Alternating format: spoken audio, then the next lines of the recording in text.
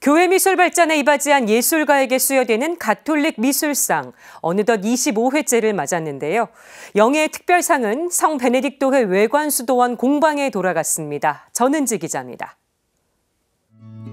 결이 살아있는 원목 제대에 키로 십자가 문양이 정교하게 새겨져 있습니다.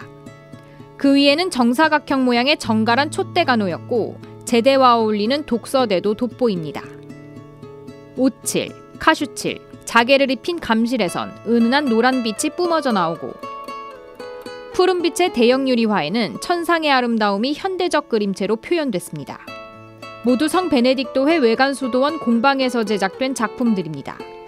성 베네딕토회 외관수도원 공방이 올해 가톨릭 미술상 특별상 수상자로 선정됐습니다. 외관수도원 공방은 분도가구 공예사, 금속공예실, 유리화 공예실 등 세 곳으로 이루어져 있으며 숙련된 기술로 한국 교회의 성미술품을 제작해 왔습니다.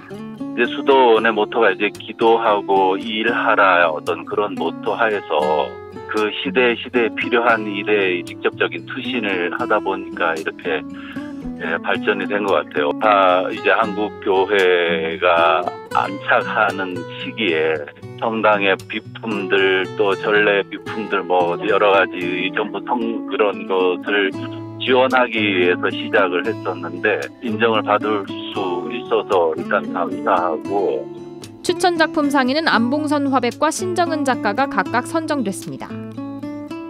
안봉선 화백은 우포늪의 고니와 두루미 등 철새들의 날갯짓을 백색 한지에 우아한 그림체로 표현했습니다. 안화백은 2008년 세계 람사르 총회 때 우포늪에서 24시간 동안 새들을 관찰하며 영감을 얻었다고 밝혔습니다. 한지 연구가이자 화가, 시인인 안화백은 마산교구 가톨릭 미술인회에서 활동하고 있습니다. 푸른색 오칠 위에 한국 전통무늬인 파도가 자개로 시문돼 있는 성작과 성합. 천주교 박해 당시 선교사들이 입국했던 백령도의 지역적 특징을 상징하는 작품입니다.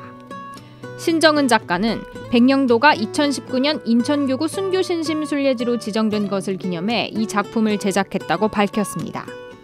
주교회 문화예술위원회는 한국 가톨릭 성미술의 발전과 교회 내 문화사적 공헌을 기리고자 1995년부터 가톨릭 미술상을 시상하고 있습니다.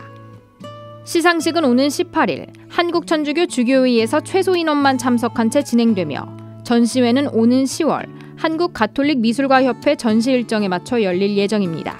CPBC 전은지입니다.